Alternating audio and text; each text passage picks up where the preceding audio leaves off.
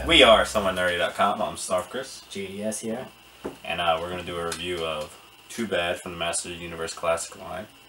Um, I had the vintage one. So Uh, did I. He did this kind of number, punched himself in the Like face. a boxer, almost.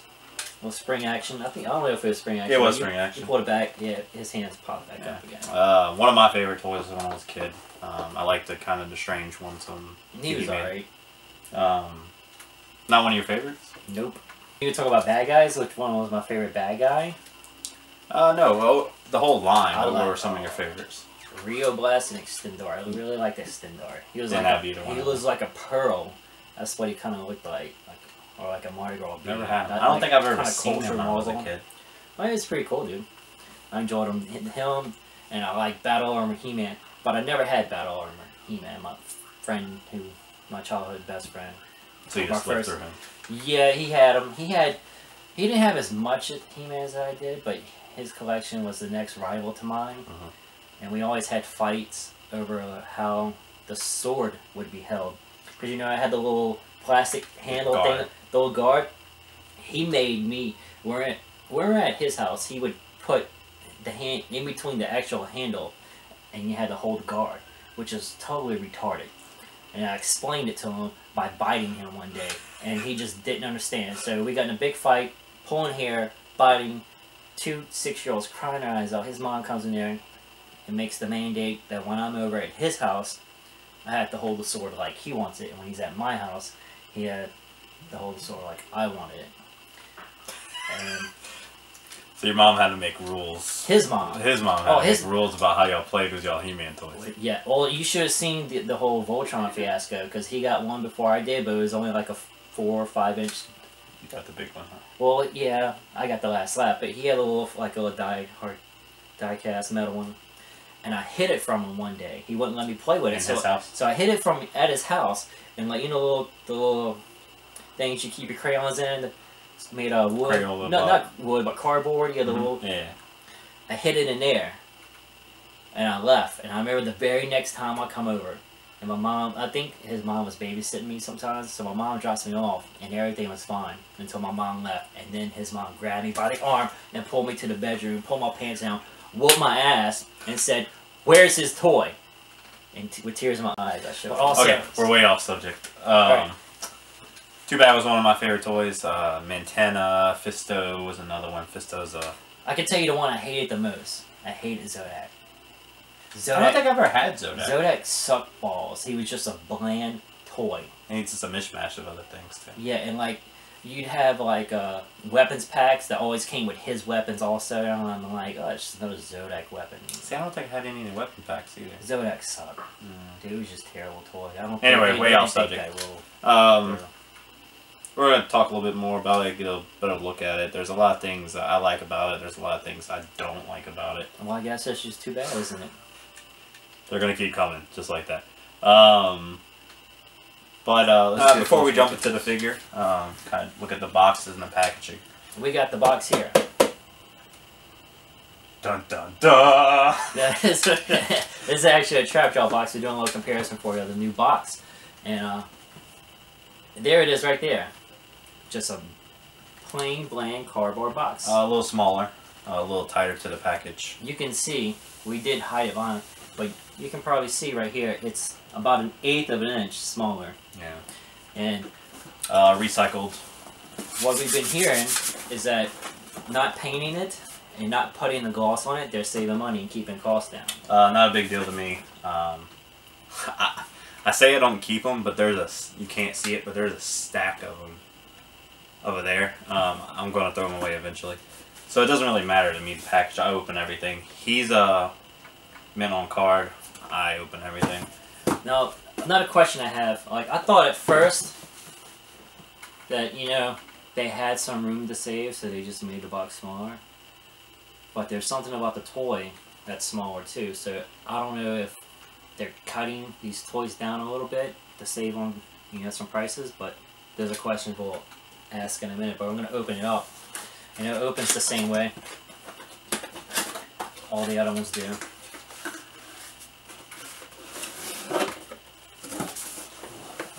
And there we go. Um, you got the kind of classic punching fade thing. Yeah, they Um, put his arms up to make it reminiscent of the vintage toy, but they, uh, you know, they sit down and his hands go out like this, um, just as posable as as the other figures. nothing really fancy. Still got the same bio. Do you have all figures. those on the back? I don't. Um, no, unfortunately, you don't. I don't have Beastman armor, man. no. I don't even have Skeletor. I have battle armor Skeletor, not real Skeletor. Um, I'm a terrible human being. tisk tisk. I do have Man at Arms because you got me that. I got him at arms. Um, that's what started it all, actually. He brought me Man at Arms. I had a spear. Um, like I said, I don't really care about the package. I opened this up instantly. We even had to use JDS's figure just to show you what it looks like in the package because I didn't have no sense to take pictures of it before I opened it. We seen that the box was smaller. We just had it on a counter and looked. I was like, hey, that one's smaller. So I took this toy and I took one of his old cards that he has and I put them side by side to see if that was smaller. And the cards are actually the, the same height. So apparently there was they had some Yeah, there's a little bit of room. they had a room so a little bit of room to play. Probably they probably had about a quarter inch to play, so they took an eighth out. Not a big deal. Like I said, um, Saving some money. Hey, keep, if you keep are the price like collecting you are. the boxes, I guess it might be a big deal, but it's not to me. I just throw them in the attic. Yeah. All right, so jump Over. right into the figure. All right. into the figure. Uh, well, that's too bad. Um, you got the Skelly side on the left, blue side on the right, left, right. Yeah, that's right. Um, sure the chest piece, molded in purple. Um, right side painted was blue. Articulation is pretty much normal for a He-Man figure, even it having the weird chest piece. Well, I guess this boot pretty limited.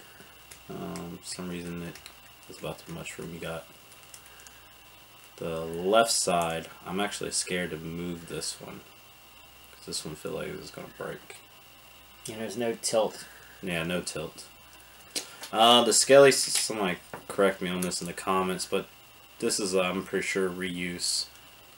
This arm and leg right there. Either from Whiplash or maybe one of the uh, Snakeman, maybe? No, I believe no. s- A snake man has that. Uh, Snakeface? No. You sure? Don't believe so. Okay. Um, but it kind of comes to my problem was I have was it. I think this should have all been bigger. Well, I guess that's just too bad, isn't it? There you go. Uh, the head seemed too small for it. The body seems too small. I would have liked it a little bit bigger, maybe a little bit taller. It uh, the finished figure itself was had a big bulky body, and the 2000X was a bigger toy. So you would think that this one would have been big too. So, like maybe like a deluxe figure like Ram Man was. Yeah, and Ram Man was about the same height, but he was about double. He was double. I mean, he was pretty wide. You think like you have two people, and you combine them into one person. That'd be one pretty big person. But it's, it's on par with all the rest of the figures, and like the, the size of the box, kind of made me suspicious as maybe they downscaled the toy itself. But then I was thinking if they did that, then they had to retool all the reusable parts that they have, and they do have some re- reusable parts. And he really is about the same height as this normal figure. I mean, you might be cutting hairs with just a little bit. Then like um Skeletor's head. That's your toy.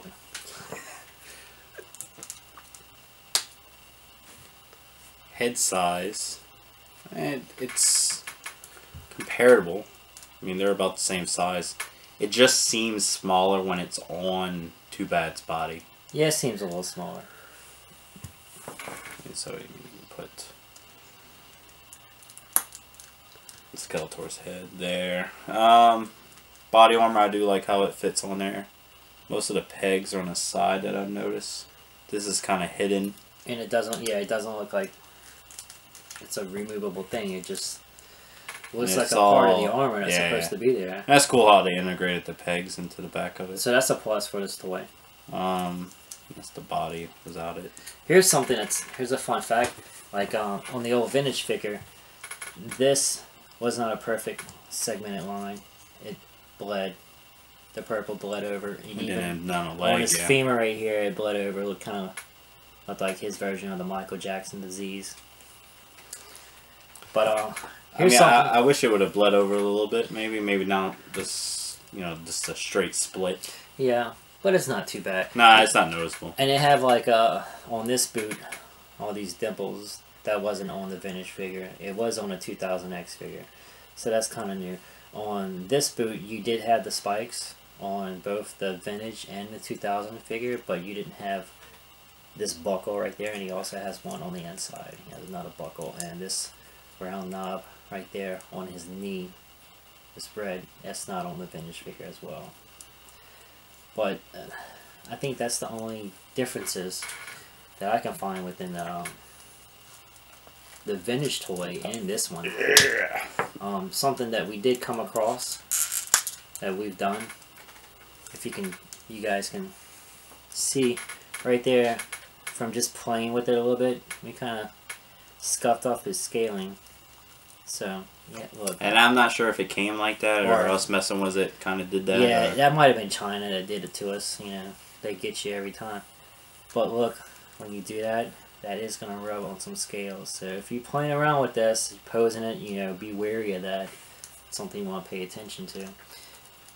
And you want to talk about this other little complaint on the mace that you have? Uh, yeah. Um, this is supposed to be a adults collectors line. It's not for kids. It's it's supposed to be you know this is internet only. You can only buy this on.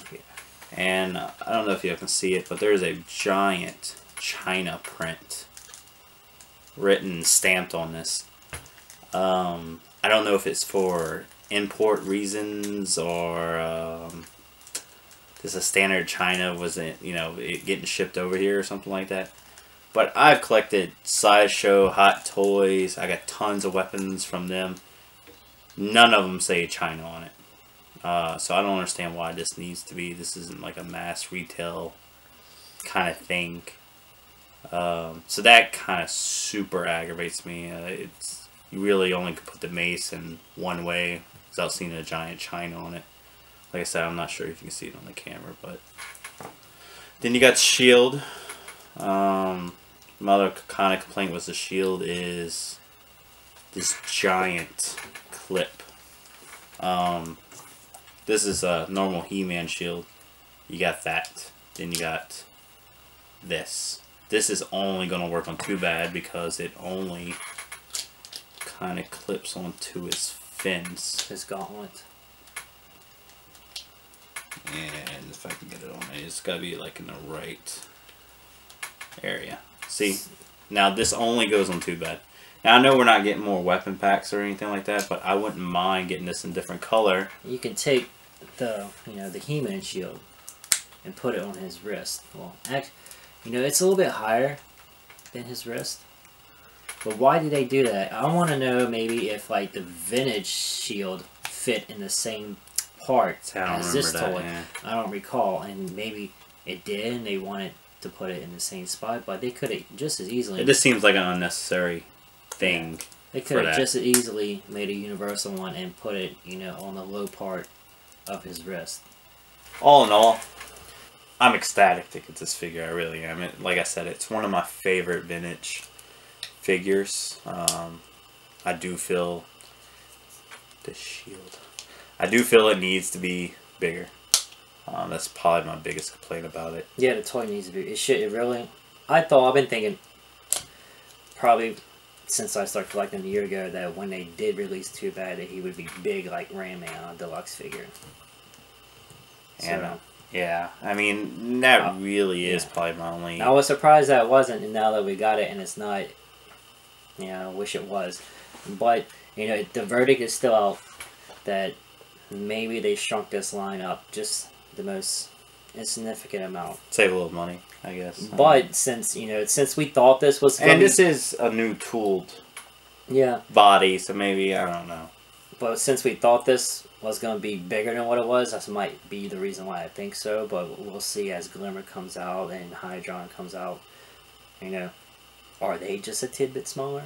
You know, the box is a little smaller, it's an eighth inch smaller, and to the eye, you know, it looks a little smaller, maybe because we thought it was going to be bigger. So we'll see as the year go along if they if they kind of shrunken that up on us. But if they did, it'd be a little bit harder to use like this part that's probably came from Whiplash, you know, because those parts would be the normal size, and they would have to completely retool the whole year and not be able to use any. And I'm pretty sure parts. that's not what's happening. I'm, I'm sure it's perspective. We're, we're only maybe wanted this to be bigger, so it just seems smaller to us. Yeah. So it's And you, just, when you compare it to something else, it's it just speculation right, Yeah. now. So well, you know, by May, April we'll know for sure when we see a few other toys. Um, one thing we oh, you got a surprise for us? a surprise. Uh, We did this whole entire video.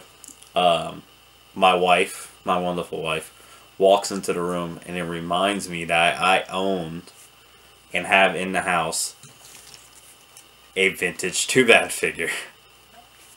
I forgot about this completely. So everything we were saying earlier, yeah, he punches himself in his face, and this kind of Jackass. yeah. Um, Hee haw. this is a good what half inch bigger. Yeah, you can see how this figure is wider. Even like look at the back. Yeah. I mean that's that's why it's like a goblet shape. You know, it's so you as a kid it was big. Big. I know you were small. Even with my hands while small, this figure is probably you know giant. yeah, you were small then, but it was still it was it had some girth to it. now the, my problems was the heads being too small. Even these heads these are heads are bigger than these heads.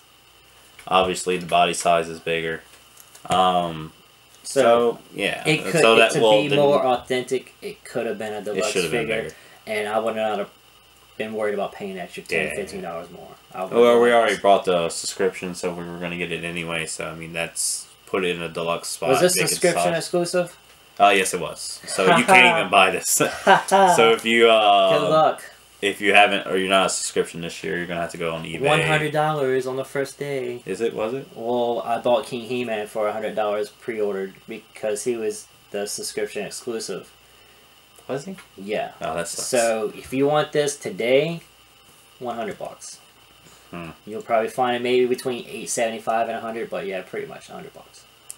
Uh, he's pretty requested figure. So um, yeah, he's classic yeah. vintage figure. You know, there's not too many more left that I didn't have. yeah. Um, pretty much like I said, this is it's. I love it. I mean, I do. Dude. Other than the size things, that's my Just the original problem. concept of how he looks. He's like both of these heads is pretty scary looking. It looks like a Deadite from the Evil, Evil Dead remake, doesn't it, Raz? Raz. Go Watch to this it. like tell him to watch the Evil Watch Dead it. remake. Yeah. Um, I mean that's pretty much all we have to say about it. Uh, follow us on Twitter, Facebook page. Um, make sure to like and subscribe to our channel. Uh, we we're gonna keep on doing these things. Make sure you watch our last video, which was Castle Grayskull. Um, we want to probably branch off after this, so I think we're gonna do some uh, DC Direct figures. Yeah, next month I'm getting the uh, Crime Syndicate DC Direct toys, which I've started the line probably uh, close to a year ago. And as the line's going on, they've added more articulation to it. So these these ones, these this Crime Syndicate have some awesome articulation. I can take Johnny Quick and really make him run, which my Flash figure I couldn't. So when I get those in in a month, we'll we'll go through those and have a fun time Um, with those. I think uh, next month we also got the New Orleans Wizard World Comic Con. We'll be there. Ivy Doomkitty.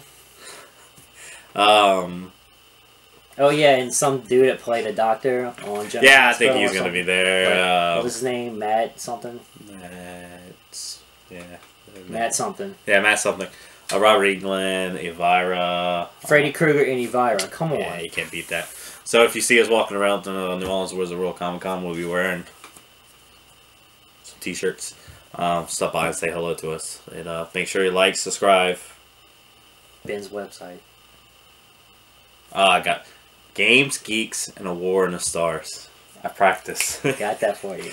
uh, Critters, no, no, no. Yeah, Critters page, um, Social Virus, Derf's, Derf's Domain, um, Toys, Toys, and Toys, Star Wars, fanboys and fangirls.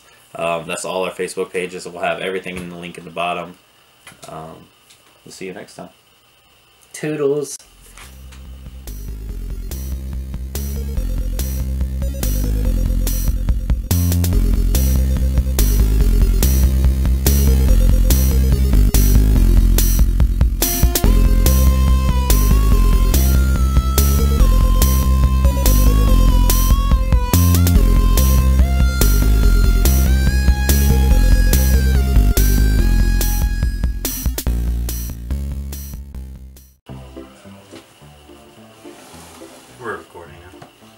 Oh, we are?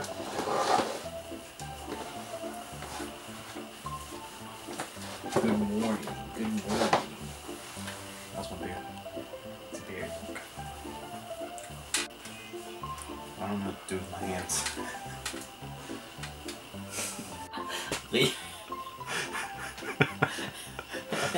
uh, this is a public service announcement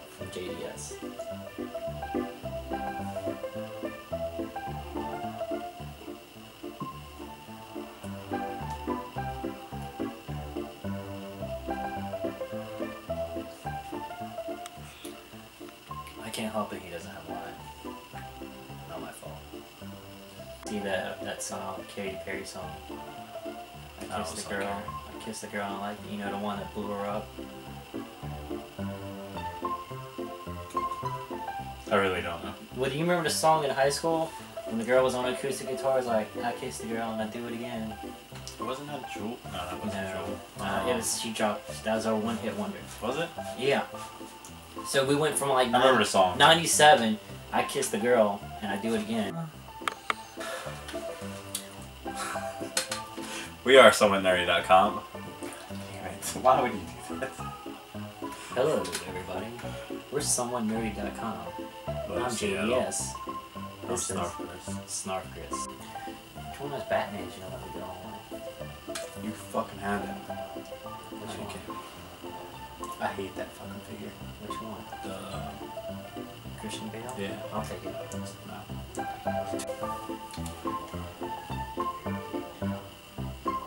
Well, what else we got?